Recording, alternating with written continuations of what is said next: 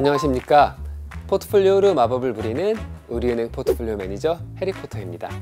우리가 투자를 하다 보면은 많은 변동성에 노출되고 또 그 변동성으로 인해서 투자에 실패를 하는 경우도 많이 발생되는데요. 그래서 저는 오랫동안 투자를 성공하신 오랫동안 시장에 남아 계신 분들이 정말로 고수라고 생각합니다. 그래서 오늘은 우리은행 김용범 팀장님 일명 하남 꼴뚜기 팀장님을 모시고 오랫동안 시장에서 남을, 살아남을 수 있는 이런 비결에 대해서 듣는 시간을 갖도록 하겠습니다. 안녕하세요. 네, 안녕하십니까. 저는 우리은행 TC 어, 시그니처 센터에서 근무하고 있는 김용곤 팀장입니다. 만나서 반갑습니다. 네, 제가 알기로 이 업계에 상당히 오랜 경험이 있으신 걸로 알고 있는데요. 이렇게 오랜 기간 동안 이 힘든 PB 업무를 할 수 있는 그런 노하우가 좀 있을까요? 아, 제가 2000년 초부터 했으니까 아마 24년 정도 된 것 같습니다. 뭐 오래 한 게 뭐 꼭 자랑은 아닌데 그 그동안 뭐 국내 같은 경우 카드채 사태라든지 외국 해외 같은 경우 뭐 9.11 테러 그다음에 미국의 어떤 금융 위기 그다음에 뭐 최근에 코로나 사태 뭐 중국 주식 폭락 등 정말 다양한 변동성이 있던 시장 상황에서 제가 경험을 했고 정말 불면의 밤을 보낸 것 같습니다. 그때마다 수명이 좀 줄어들었을 것 같은데. 아, 뭐 하여튼 네. 그 상황 상황에는 굉장히 힘들었던 상황이긴 한데 네. 제가 기본적으로 성격이 이제 긍정적이고 그렇죠.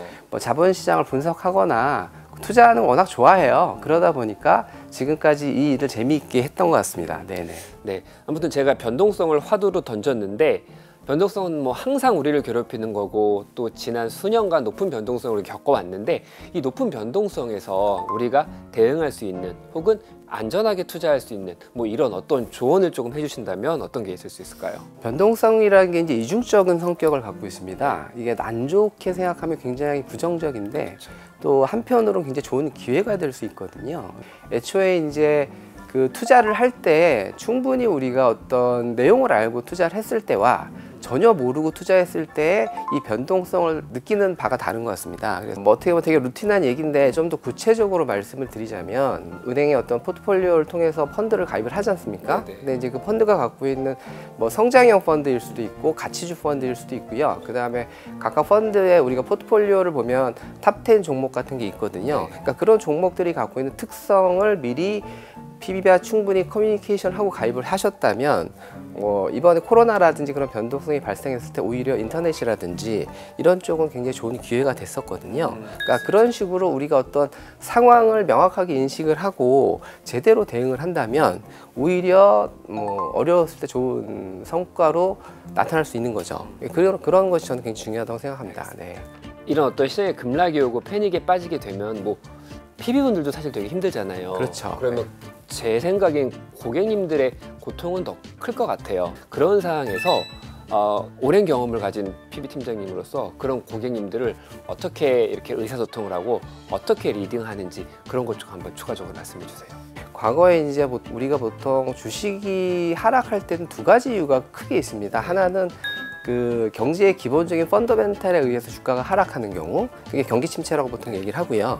코로나 같은 경우는 경제 외적인 상황 때문에 주가가 빠졌지 않습니까?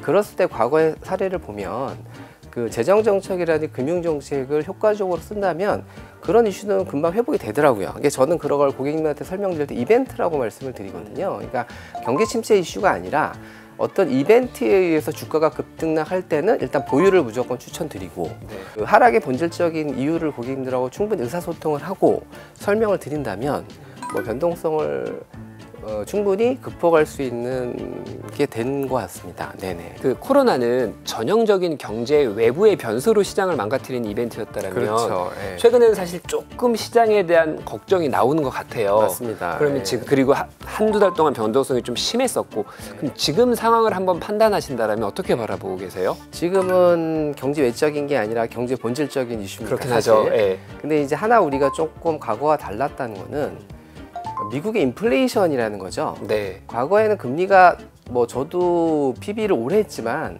금리가 이렇게 높은 적이 없었습니다. 그러니까 이번 22년도, 23년도 주가 하락했을 때 대응이 어려웠던 이유가 저금리 기조에서였던 시장을 보는 거하고 현재는 고금리거든요. 그러니까 이게 이해가 굉장히 어려웠던 것 같습니다. 그리고 경기 침체를 예상하셨던 분들은 금리가 이렇게 높으면 도식적으로 경기 침체가 와야 되거든요. 아까 제가 AI를 말씀을 드렸는데 AI라는 새로운 투자가 그걸 좀 극복했다고 보고요. 두 번째는 미국의 소비가 워낙 좋습니다. 그러니까 5%를 극복할 수 있을 만큼의 성장이 나오다 보니까 현재 미국의 소비가 계속 지속이 되고 있고요.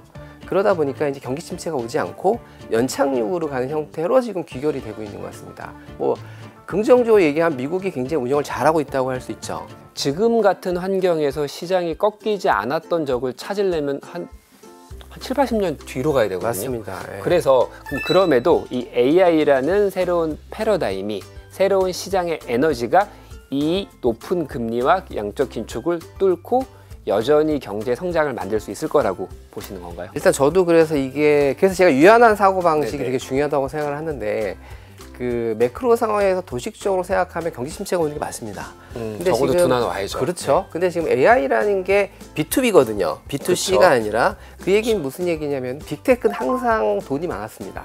그러니까 무슨 얘기냐면 최근에는? 네. 그렇죠. 그렇기 때문에 그 자사주 매입을 하지 않습니까? 네. 그런 것처럼 지금 AI는 밀릴 수 없는 대세거든요. 그러다 보니까 지금 뭐 애플이라든지 뭐 메타라든지 빅테크들이 엄청난 투자를 하고 있습니다. 근데 시장이 걱정하는 거는 투자 대비 매출이 나오냐, 성장이 나오냐에 대한 의구심이거든요. 실질적으로 투자를 통해서 미래 성장성이 담보된다면 충분히 투자할 수 있는 여력이 있는 회사들이기 때문에 그 부분은 우리가 긍정적으로 보는 게 일단 좋을 것 같고요. 그 다음에 미국의 소비가 줄지 않습니다. 이게 미국은 기본적으로 성장의 한 75%가 소비에서 나오거든요. 제조는 한 15% 정도로 알고 있습니다. 최근에 소비 여력이 특히 말해서 잉여 현금 같은 경우도 많이 떨어졌고 네. 그리고 뭐 카드 연체나 이런 것들도 꽤 높아지고 있고 그런 것들을 조금 우려하긴 하는데 그거는 또 어떻게 생각해요? 그래서 지금 얘기가 나오는 게 고용입니다. 이번에 8월 달에 주가가 급락했던 이유도 7월에 고용 보고서가 4.3이 나오다 보니까 뭐 샤메 법칙 그래가지고 그 얘기가 나왔던 거거든요. 근데 그 이후에 뭐 실업 청구가 줄고 그 다음에 소비 가 되게 좋게 지표가 나왔지 않습니까? 그래서 그 부분을 갖고 이제 아 이건 약간 일시적이다. 그래서 9월 달 초에 나오는 8월에 고용 보고서 봐야 된다는 얘기들이 나오고 있습니다. 그래서 금리가 5%라는 게 저는 굉장히 중요하다고 봅니다. 이게 왜냐하면 제로금리면 대응을 못 하거든요. 룸이 없죠. 그렇죠. 네. 근데 지금 금리가 5%이기 5.5니까. 때문에 만약 고용이 악화된다면 단기적으로 주가가 빠질 수는 있겠지만 금리를 떨어뜨려, 떨어뜨려서 경기 부양을 일단 할 수 있고요. 또 소비가 아직도 굉장히 탄탄하고 또 2분기 지금 실적들을 보면 80% 이상이 기업들 실적이 좋게 나오고 있습니다. 가이드도 나쁘지 않고요. 이번에 어떤 패닉으로 주가가 빠졌지만 굉장히 빨리 회복하는 이유도 뭐 그런 게 하나의 원인이 되지 않을까 그렇게 생각하고 있습니다. 그런 면에서 지금 시장 상황을 저는 개인적으로 나쁘게 보고 있지 않습니다. 처음 투자를 시작하는 분들도 되게 많을 거란 말이에요. 특히 최근에 많은 투자자분들이 이제 뭐 미장에도 투자를 하기 시작하고 그렇죠. 그럴 텐데 예. 그러면 이렇게 우리가 다 처음 시작하는 초보 투자자분들 아마 우리 채널에도 많은 초보 투자자분들도 계실 텐데 그런 분들에게 우리가 투자로서 뭐 장기간 성장 성공할 수 있는 그런 조언을 하나 좀 부탁드리겠습니다. 사실 투자가 굉장히 쉽고도 어려운 건데 우리가 다 알고 있는 투자가 어떻게 보면 가장 쉽다고 할 수도 있습니다. 예를 들어서 우리가 부동산 투자하면 그냥 강남 아파트가 좋다라는 건 다 알고 있지 않습니까? 네, 근데 못 실제 사서 돈-. 네, 못 사서 문제인 거죠. 네. 근데 어떻게 보면은 펀드나 주식 똑같습니다. 뭐 간단 미국이나 아니면 빅테크 같은 경우는 누가 봐도 이제 성장할 수 있는 업종이고 안정적으로 성장할 수 있거든요. 근데 이제 우리가 이제 투자를 할 때 좀 뭐라 그럴까요? 좀 한 번 사서 뭐 더블이 난다든지 당장 투기적인 입장에서 접근을 하기 때문에 문제가 된다고 봅니다. 그래서 기본적으로 투자를 할 때는 우리가 아는 거에서 접근을 하는 게 되게 중요하고요. 그 다음에 그 적립식이라든지 거치식에 따라 조금 다르긴 한데 그 시장에 대해서 굉장히 관심을 갖고 계속 지켜보면서 그 투자하는 게 가장 중요하다고 생각이 듭니다. 네네. 알겠습니다. 그럼 이상으로 어, 김영모 팀장님, 하남 꼴뚜기 팀장님 모시고 어, 오랜 경험이 있는 PB로서의 노하우를 들어보는 시간을 가져봤습니다.